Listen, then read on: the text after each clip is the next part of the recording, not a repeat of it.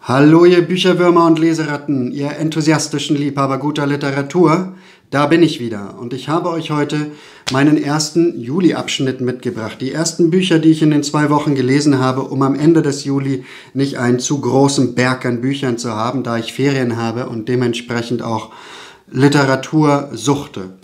Gut, was gibt's vorneweg zu sagen? Ich werde euch unten in der Infobox die Zeitmarken wieder anfügen, sodass ihr hin und her hüpfen könnt, falls ihr das Kontinuum nicht ertragen wollt. Dann werde ich keine Spoiler benutzen, außer bei den Sachbüchern, die ich natürlich zur Gänze behandle und auch das Ende vorwegnehme. Dann noch etwas, was möchte ich noch sagen? Ah ja, ich möchte noch auf mein sportlicheres Outfit hinweisen. Üblicherweise bin ich nicht so angezogen, aber ich möchte meine Gedanken, meinen Geist fokussieren. Ich will, dass sich mein Geist ein Vorbild nimmt an meiner sportlichen Montur und präzise argumentiert, klare Wörter verwendet, ohne abzuweichen, ohne Abschweifungen, on point. Schauen wir mal, ob es funktioniert. Los geht's. Unser erstes Buch, Juli C. Nullzeit. Vielleicht wisst ihr es, ich hatte das mal erwähnt, dass ich Juli C. jetzt ganzheitlicher belesen möchte. Ich bin auf einem guten Weg. Dieser Roman von 2012 behandelt zunächst mal Sven und Antje. Sven und Antje sind nach Lanzarote ausgewandert, um dort eine Tauchschule zu eröffnen. Das liegt daran, dass gerade Sven in Deutschland nach seiner Juraprüfung so schlechte Erfahrungen mit einem Professor gemacht hat und so eine willkürliche Behandlung erfahren hat, dass er gesagt hat, ich kehre dem den Rücken, ich gehe nach Lanzarote und bin dort mein eigener Herr, ohne die ganzen Komplikationen der Moderne, ohne diese komischen Auswüchse der Leistungsgesellschaft. Ich mache dort mein Ding. Funktioniert aber nicht ganz, weil bald Jola und Theo kommen. Jola ist eine Schauspielerin, die ist an der Grenze vom nicht mehr ganz jung sein und sie sieht ihre letzte Chance darin, jetzt ernsthafte Rollen zu ergattern. Deswegen ist sie auch dort. An ihrer Seite ist Theo, ihr langjähriger Freund, ein Schriftsteller, der vor Jahren mal einen Erfolg hatte, seitdem aber mehr oder weniger erfolglos dahin vegetiert, der offenbar seine eigene Frustration darüber jetzt auch nur noch dadurch kanalisieren kann, dass er seine Freundin Jola ähm, schikaniert, ihr auch wirklich beleidigende Sachen an den Kopf schmeißt, der sie immer wieder mit ihrer äh, ja so GZSZ-mäßigen Karriere konfrontiert und der sie dann im weiteren Verlauf tatsächlich auch noch handgreiflich malträtiert. Das bekommt Sven dann auch mit und dann ist es mit seiner Ruhe ähm, auch vorbei, denn er muss sich natürlich entscheiden, wie er mit den beiden umgeht. Jola also will eine Rolle ergattern als Taucherin in einem Film. Sie möchte gerne eine junge Taucherin spielen. Wir erfahren zwei Versionen der Geschichte, denn eigentlich ist es aus Svens Perspektive geschildert, also wie, die, wie diese Gruppe von vier Leuten, beziehungsweise drei, Antje ist nämlich nicht beim Tauchen dabei, wie diese Gruppe aus drei Leuten ihre Tauchkurse unternimmt, die verschiedenen Tauchgänge, die zunächst noch relativ problemlos im flachen Wasser stattfinden, aber sich eben sukzessive in tieferes Wasser erstrecken und damit auch mh, mm, auf einer anderen Ebene gefährlicher werden, tiefer gehen, bedrohlicher werden. Ähm, in diese Geschichte von Sven mogeln sich aber immer mal wieder so kleine Tagebuchaufzeichnungen von Jola. Das Interessante ist, dass sich die zwei Versionen grundsätzlich voneinander unterscheiden und der Leser sich entscheiden muss, welche Perspektive er annimmt. Teilweise werden auch ganz andere Begebenheiten wiedergegeben, sodass der Leser schon sehr auf der Fährte ist und quasi so ein Thriller-Element und auch ein kleines kriminologisches Element drinnen steckt, dass man nämlich einfach überlegen muss, was denn wahrscheinlicher wäre. Gut, so viel dazu. Am Ende gibt es, was ich auf jeden Fall noch erwähnen muss, eine großartige Szene unter Wasser. Sven hat nämlich das Anliegen, dass er ein noch unerforschtes Wrack betaucht. Und dabei helfen ihm dann, helfen ihm dann am Ende die beiden. Und dort kommt es zu einer Szene, die von Juli C., finde ich, herrlich großartig geschildert wird. Äh, eine Szene, in der sich die Suspense-Elemente dieses Thrillers mit so einer ganz zärtlichen körperlichen Hingabe verbinden und eine surreale Szene schaffen, die aber aufgrund der natürlichen Begebenheiten, auch aufgrund der naturwissenschaftlichen Begebenheiten tatsächlich so ergeben muss. Da ist nichts gekünstelt, es ist nichts Fantasievolles hineingesteckt, sondern eine super realistische Schilderung einer Szene, die in ihrer Komplexität und in der Verbundenheit zweier Elemente aber so eine ganz wie unwirkliche Stimmung erzeugt, sodass ich mir danach gedacht habe, ich fahre zu Julie C. nach Hause, wo auch immer sie wohnt, und küsse ihr dafür den großen C, weil ich es wirklich genossen habe, das zu lesen.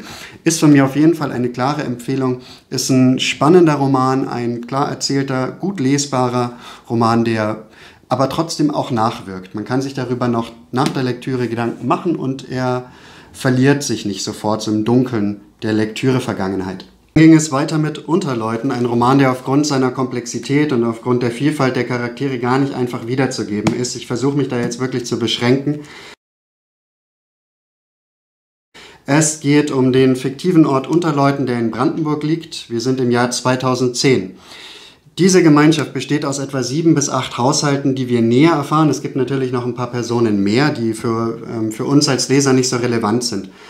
Ähm, der Roman wird abwechselnd aus jeweils der Sicht einer Figur oder auf, aus der Sicht eines Haushalts geschrieben.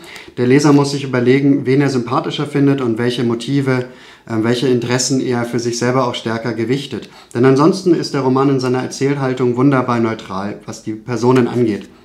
Ja, das bewegende Moment, was von außen reingesetzt wird in diese Welt, ist ein Windpark, der dort errichtet werden soll. Jetzt bringt der Windpark zum einen natürlich Geld und die, es würde mal die marode Dorfkasse saniert werden. Auf der anderen Seite würde es die Aussicht verschandeln.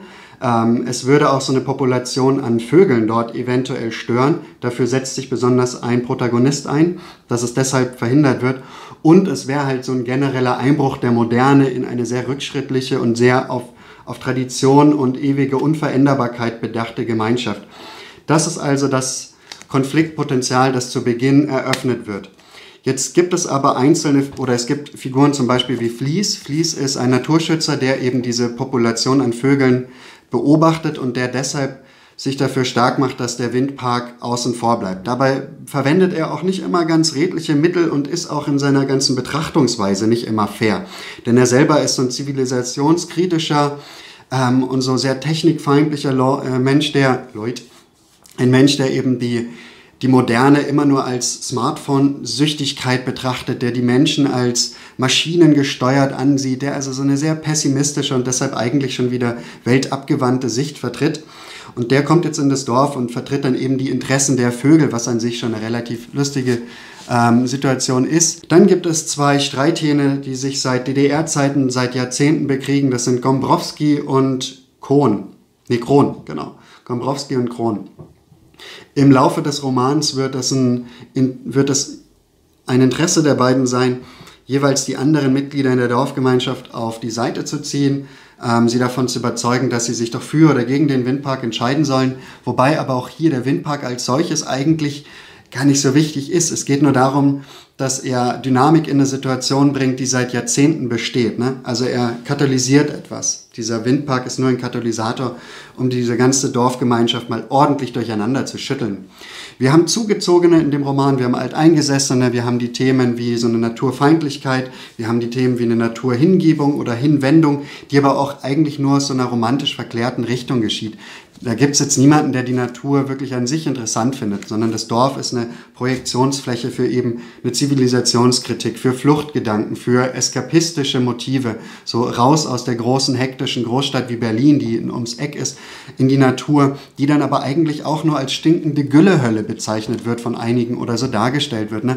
Man hat hier nämlich keine Kanalisation auf dem Dorf, es gibt nur Sickergruben, die hin und wieder abgepumpt werden, was eben dazu benutzt wird, auch mal den Nachbarn vielleicht durch so einen schräg gestelltes Auto so weit zu behindern, dass nämlich der der große Wagen, der das, die Gülle dann abtransportiert, nicht mehr dahin kommt, sodass auch mal die Gülle, die Scheiße dort einfach eine Woche steht und dann durch einen Rückstau auch wieder ins Haus gelangt. Also so fürchterliche, fürchterliche Dinge geschehen hier auch. Dann ist die Natur auch so ein Motiv der Verklärung. Es, so entweder wird es zu hoch eingesetzt, die Natur als das Allheilmittel gegen, gegen die Hektik der Großstadt. Für den Gombrowski oder für Kron hat das aber eine ganz andere, eher eine Arbeit, die da drin steckt. So ein Feld zu bearbeiten ist ja nicht einfach. Dann ist die Natur durch ihre permanenten Dürreperioden und dann wieder im Gegensatz durch die Regenperioden auch immer ein Unsicherheitsfaktor, gegen den man sich stellen muss. Da wird die Natur und das Dorf also ganz klar als etwas zu bearbeitendes betrachtet, als ein, als nichts Positives, sondern eher etwas, gegen das man sich stellen muss. Also die Natur ist hier als Thema, finde ich, sehr schön in die Literatur gebracht und das ist gerade im Jahr 2019 jetzt oder 2016 wurde ja veröffentlicht, ähm, was, was man nicht oft liest. Ne? Die meisten, äh, ich denke mal, ihr wohnt auch alle eher in Großstädten, ich lebe in einer Großstadt, das ist so unser Kosmos. Und da jetzt mal aber eine Dorfgeschichte zu lesen, in der sich dann aber schon sehr viele Themen auch der unserer Großstadtgesellschaft widerspiegeln, eben ex negativo widerspiegeln, fand ich super gelöst von Julie C., hat mir gut gefallen.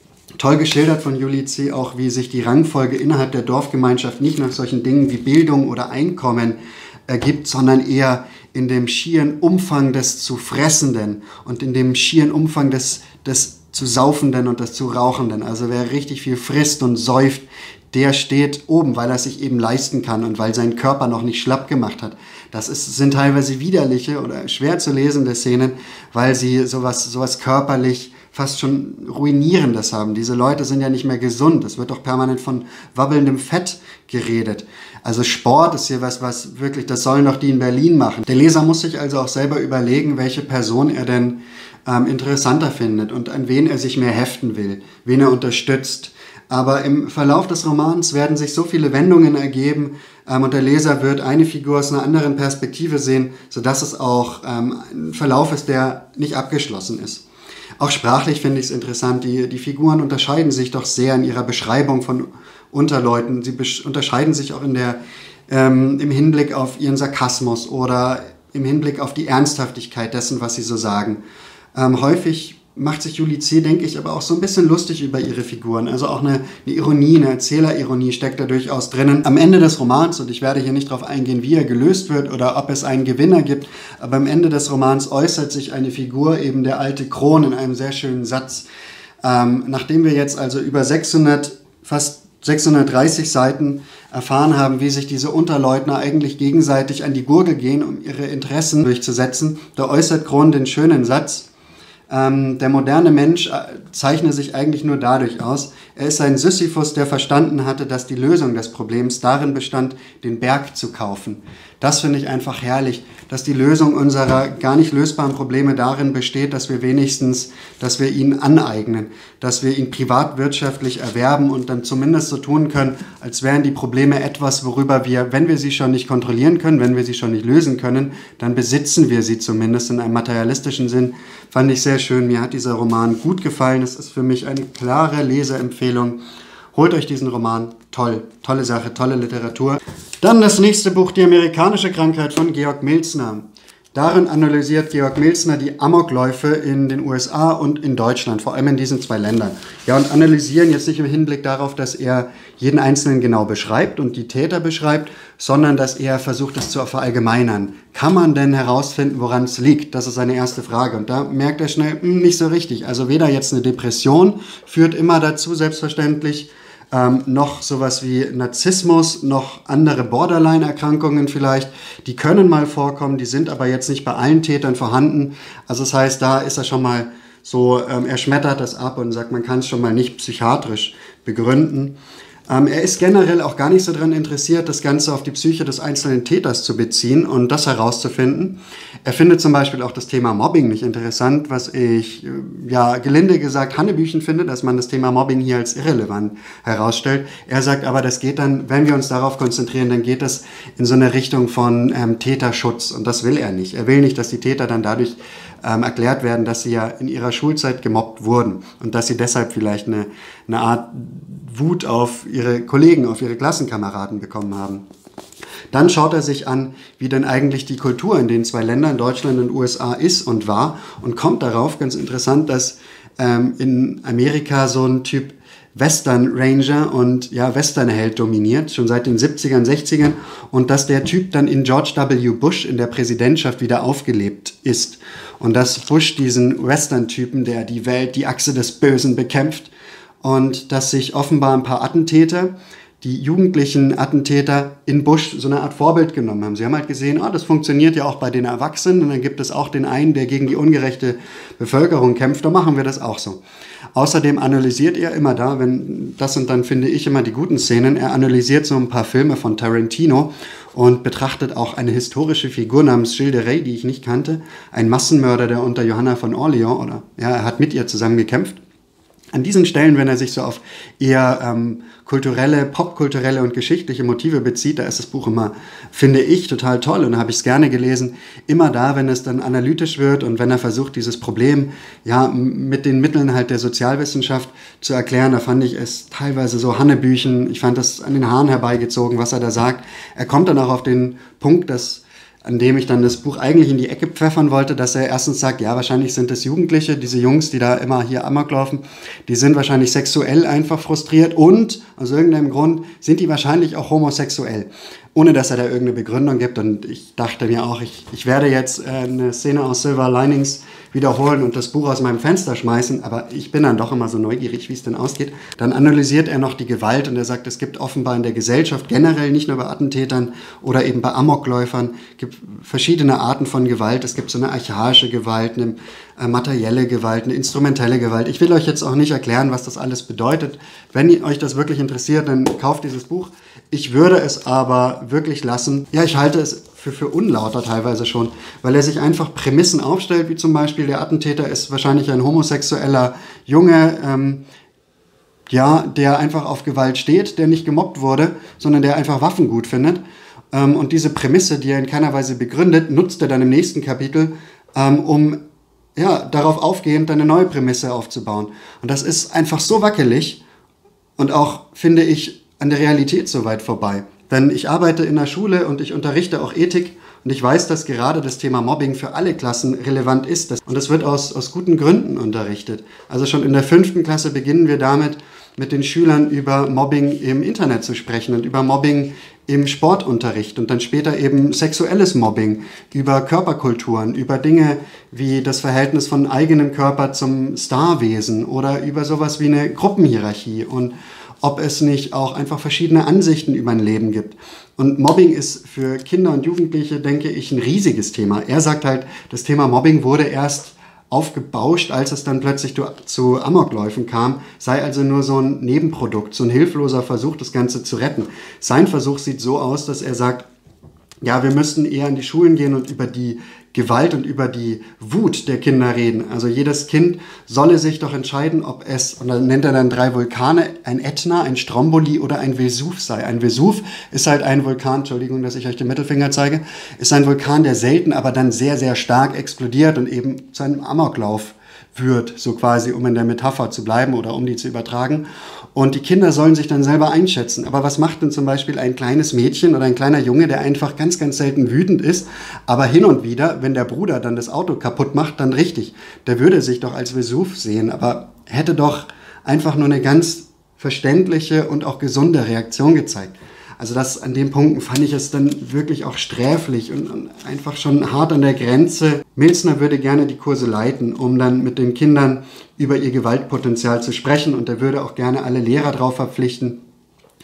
Und da würde ich mich fragen, ob es überhaupt für einen Forscher dann noch, ob man da noch von Lauterbarkeit oder von der Wissenschaftlichkeit sprechen kann, wenn der Autor selber die Probleme eben dann durch Kurse lösen möchte, die er selber hier erst postuliert. Ja, von mir Ganz klar, kauft das nicht. Ein anderes Sachbuch, das ich in diesem Monat gelesen habe, ist von Florian Illis, was ich unbedingt noch erzählen wollte, 1913. Das ist der zweite Teil, das ist der erste, 1913. Florian Illis beschreibt hier in sehr kurzen, kurzen Textzeilen in glossenartigem Stil das Leben von verschiedenen Künstlern und Intellektuellen in diesem Jahr. Das Problem an der ganzen Sache, um das gleich zu sagen, ist eben, dass er sich jetzt nicht gedacht hat, dass er ein neues Jahr nimmt, sondern er bleibt wie im ersten Teil bei 1913 und bleibt auch im Großen bei dem gleichen Personal.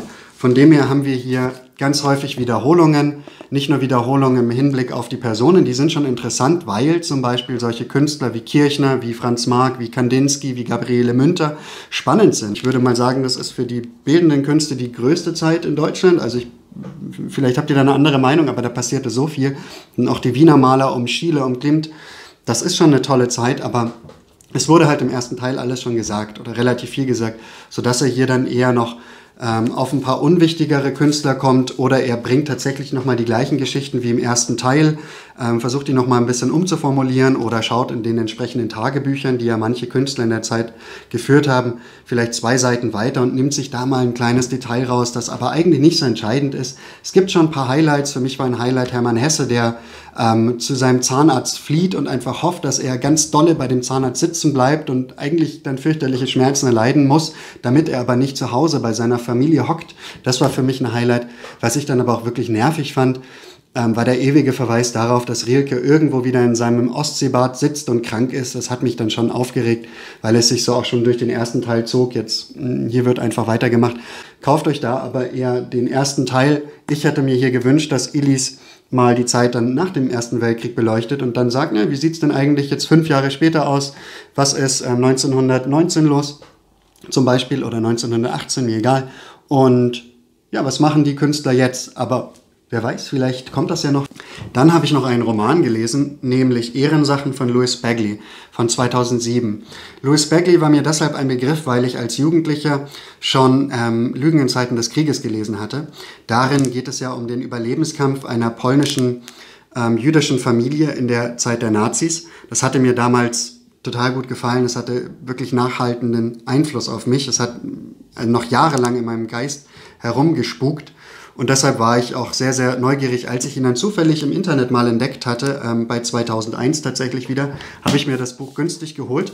Und ich muss sagen, ein gutes Buch. Ich erzähle euch kurz, worum es geht. Wir lernen hier drei junge Männer kennen, die in Harvard studieren und dort zusammen in einem Wohnheim leben und so eben zusammenfinden. Da ist zum einen Henry. Henry ist ein Jude aus Polen, der den Zweiten Weltkrieg eben versteckt in einem Hinterzimmer in Krakau erlebt hat und entsprechend einfach eine, eine grauenhafte Zeit dort hatte. Nach dem Krieg ist er nach Harvard gekommen, hat relativ schnell die Sprache gelernt und ist mehr oder weniger assimiliert, hat aber schon auch mit diesen entsprechenden ähm, Problemen zu kämpfen, denn obwohl Amerika jetzt nicht als antisemitisch geschildert wird, gibt es doch gewisse Beschränkungen, was Juden angeht. Dann gibt es noch Sam, den Ich-Erzähler. Sam stammt aus einer alteingesessenen Familie, die in Nord ähm, in Nordostamerika, also in Neuengland, irgendwie so ihre Fäden spinnt, der sehr einflussreich ist. Seine Eltern sind allerdings Alkoholiker. Er muss sich also mit denen auch auseinandersetzen und muss schauen, dass die ihm nicht zu schnell den Löffel abgeben. Er ist immer darauf bedacht, dass diese Situation auch nicht eskaliert. Dann gibt es in seiner Familie noch ein paar andere Gestalten, die er langsam kennenlernt, die er auch schätzen lernt. Neben Sam und Henry gibt es dann noch Archie. Archie ist für uns eigentlich nicht besonders relevant. Er hat eher einen kurzen Auftritt, ähm, ist aber so der sportliche, reiche ähm, der einfach das Trio komplettiert. Jo, im weiteren Verlauf haben wir hier es dann mit einem Roman zu tun, der uns durch die nächsten Jahrzehnte tatsächlich bringt, der uns schildert, wie Henry und vor allem dann Sam auch ihr Harvard-Studium absolvieren, dann erfolgreich arbeiten. Sam wird später ein Schriftsteller werden. Er reist ähm, gemeinsam wie Henry, auch nicht immer mit Henry, aber ähm, parallel zu ihm, reist er auf europäischen Kontinent hin und her, hat dort seine Arbeitsstätten in ja, London, in Paris, ist dann aber auch hin und wieder in New York. Ja, mir hat die Geschichte total gut gefallen, weil ich gerade die Männerfreundschaft sehr genossen habe. Ich, ich mag solche Geschichten von authentischen, aufrechten Freundschaftsgeschichten, die nicht dramatisiert wird. Also jetzt sowas wie Jana Gihara fand ich, ihr wisst wahrscheinlich, welchen Roman ich meine, hier ein wenig Leben. Das fand ich so dramatisierend. Das hat mir nicht mehr gefallen, weil ich fand, dass die Freundschaft da auch nur benutzt wird als Katalysator, um diese ewigen Leiden zu schildern, dann eigentlich von Jude.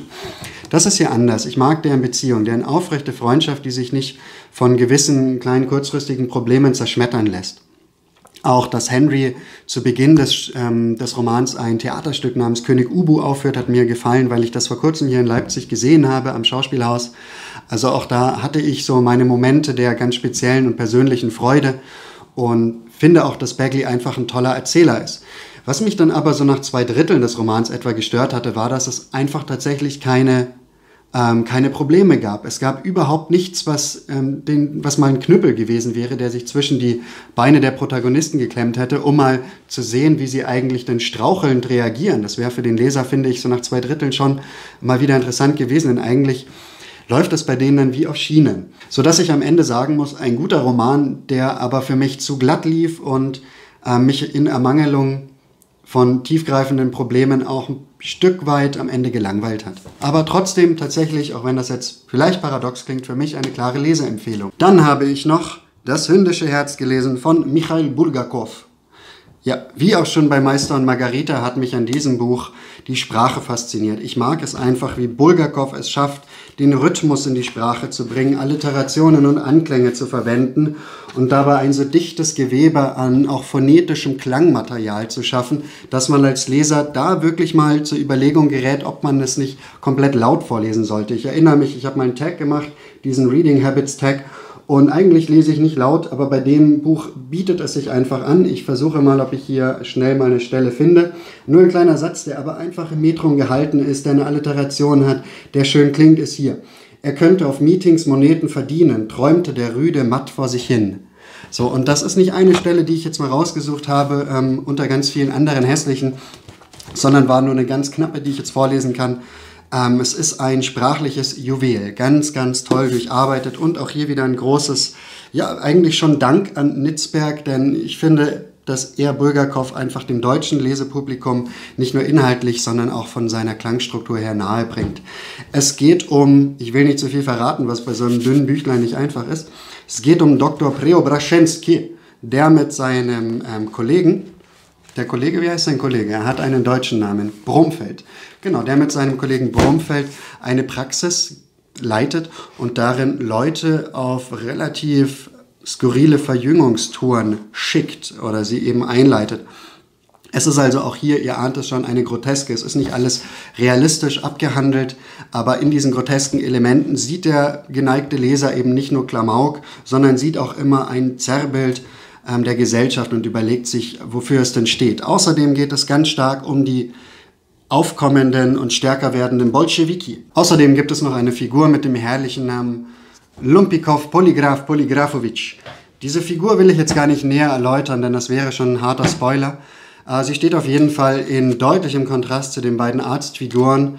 Es ergibt sich dann in diesem Arrangement aus auch hier widerstreitenden Interessen, die die Personen halt so haben, ein ziemlich lustiges, wuselndes Bild in der Wohnung. Es ist ein Buch, das sich als Einleitung in Meister Margarita eignet oder auch vielleicht als Ausklang, wenn man das gelesen hat nach Meister Margarita, dann aber so erstaunt ist und man sich denkt, wie man jetzt weiterleben kann ohne Bulgakov, dann ist das sündische Herz die Rettung. Das war's von mir, das war jetzt die erste Hälfte meines Juli. Ich hoffe, die Rezensionen haben euch gefallen. Ich hoffe, es war was für euch dabei. Äh, ich wünsche euch eine wunderschöne Woche, habt viel Spaß bei eurer Lektüre.